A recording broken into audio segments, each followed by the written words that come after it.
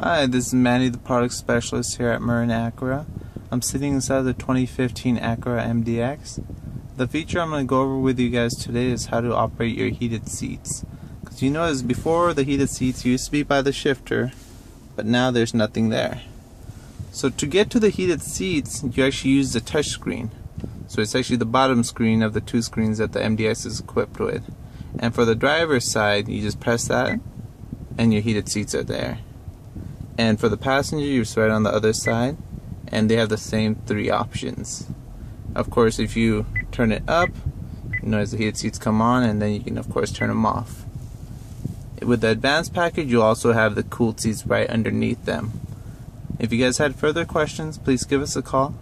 I hope it helped. You guys have a great day